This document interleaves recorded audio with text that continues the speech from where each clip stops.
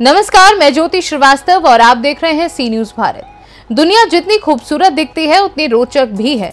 जिनके बारे में आप शायद ही जानते होंगे। दुनिया में ऐसे कई फैक्ट्स हैं जो आपको सोचने पर मजबूर कर देंगे कि आखिर पहले कभी हमने इस बारे में क्यों नहीं सोचा। ऐसे ही फैक्ट्स लेकर हम आपके लिए आते हैं हमारे खास प्रोग्राम फैक्ट डोज में। तो चलिए, शुरू करते हैं आज के रोचक फैक्ट्स का सिलसिला। नंबर वन पुल के बीच में क्यों होता है गैप अपनी रोज़मर्रा की ज़िंदगी में हम अक्सर किसी न किसी पुल से गुजरते हैं, लेकिन हमारा ध्यान इस और शायद ही जाता है कि कोई पुल सड़क की तरह एक समान क्यों नहीं होता। पुल को अलग अलग हिस्सों में बनाया जाता है। हम देखते तो हैं, लेकिन इस बात को नजरअंदाज कर देते हैं कि आखिर ऐसा क्यों होता है। ये कोई डिज़ाइन का हिस्सा नहीं, बल्कि इसके पीछे साइंस है, क्योंकि जब पुल में लगी सामग्री कंक्रीट और स्टील आदि गर्म होते हैं तो ये फैलते हैं। और जब ठंडे होते हैं तो सिकुड़ जाते हैं। गर्मी के मौसम में अगर पुल गर्म हो जाता है तो ये फैलने की कोशिश करते हैं। इसीलिए अगर पुल में कोई गैप नहीं होगा तो ये अलग अलग दिशाओं में झुकने की कोशिश करने लगेंगे। ये जोड़ पुल को फैलाने और कॉन्ट्रैक्ट करने की अनुमति देते हैं। इन गैप के बिना पुल टूट सकता है, क्योंकि पुल आमतौर पर कंक्रीट और स्टील से ही बनाया जाता है।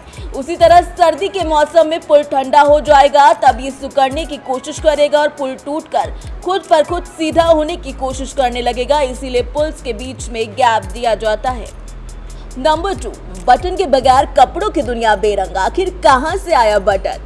दुनिया भर में हर शख्स शर्ट पहनता है। शायद ही कोई ऐसी शर्ट हो जिसमें बटन ना हो। ज़्यादातर परिधान बटन के बगैर नहीं बनते। कई सवाल होते हैं कि शर्ट में बटन क्यों लगाए जाते हैं, बटन गोल क्यों होते हैं? लेकिन क्या कभी आपने सोचा है कि आखिर ये बटन आए कहाँ से? वैसे ये फग्र करने वाली बात है कि इसका आविष्कार कहीं और नहीं, बल्कि हमारे ही देश में हुआ था, वो भी आज से 2000 ईसा पूर्व। ये वो जमाना था जब नई चीज़ें हुई।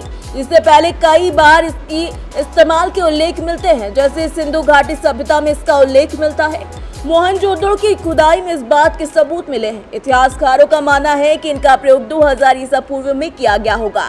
हड़प्पा वासी आभूषण के तौर पर इसका प्रयोग करते होंगे और तब ये पत्थर और लकड़ी से बनाए जाते होंगे।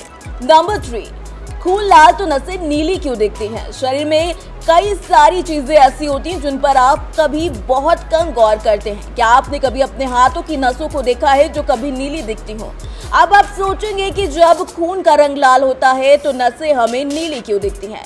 इन नसों में हमेशा लाल खून ही दौड़ता है। आपको जब चोट लगती है कटता या छिलता है, तब आपको इन्हीं नसों में से खून निकलता हुआ दिखता है। फिर ये नसी, हमेशा नीली या जामुनी रंग की क्यों होती है? इसका सीधा सा जवाब ये है कि खून का रंग हमेशा ही लाल होता है। लेकिन यह लाल रंग किस शेड में होगा, ये निर्भर करता है आपके खून को मिलने वाली ऑक्सीजन पर। आमतौर पर यह धारणा होती है कि जिस खून में ऑक्सीजन की मात्रा ज़्यादा होती है वो ज़्यादा लाल होता है और जबकि जिस खून में ऑक्सीजन की मात्रा कम होती है, उस वो ज़्यादा नीला दिखता है। इसीलिए अगर आपको भी अपनी नसें नीली दिखाई दे रही हैं, इसका मतलब ये है कि आपके खून में ऑक्सीजन की मात्रा काफ़ी कम हो सकती है। नंबर फोर, फ्रीजर में क्यों नहीं जमती शराब? विज्ञान के मुताबिक हर तरल पदार्थ के जमकर बर्फ़ में तब्दील होने के अलग अलग रीजन होते हैं। किसी तरल के जमने का मतलब उसके अणुओं का आपस में जुड़कर ठोस आकार लेना होता है। तभी तरल पदार्थों का अपना अलग हिमांक होता है।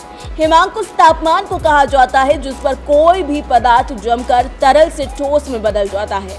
सामान्य तौर पर पानी का हिमांक शून्य डिग्री सेंटीग्रेड होता है। हमारे घरों में पाए जाने वाले फ्रिज का तापमान शून्य से तीन डिग्री सेल्सियस तक रहता है।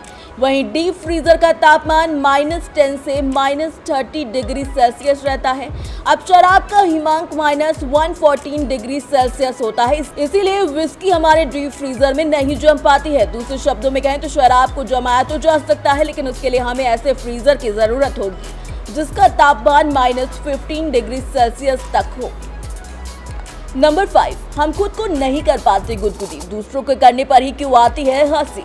वैज्ञानिकों के मुताबिक अगर आप इंसानी दिमाग के रहस्यों के बारे में कुछ जानना चाहते हैं तो आपको अपने हाथों से खुद को गुदगुदाने की कोशिश करनी होगी। इससे आपको कुछ नहीं होने वाला। आप किसी दूसरे से कहें कि वो आपको गुदगुदाए। आपको अपनी ओर बढ़ते हुए हाथों को देखकर ही हँसी आने लगेगी। यूनिवर्सिटी ऑफ़ लंदन की सारा जैन ब्लैकमोर ने अध्ययन में बताया कि दिमाग अपने और दूसरों के हाथों में अंतर के बारे में ध्वनि की गति से फैसला लेता है। इसीलिए अगर आपके हाथ खुद को गुदगुदाने के लिए आगे बढ़ेंगे तो आपका दिमाग पहले से जानता है कि क्या होने वाला है। ऐसे में जब आप खुद को गुदगुदी करने की कोशिश करेंगे तो आपको कुछ नहीं होगा। तो ये थे आज के कुछ खास फैक्ट्स ऐसे ही और खास फैक्ट्स लेकर हम फिर हाजिर होंगे। तब तक के लिए देखते रहिए सी न्यूज़ भारत। नमस्कार।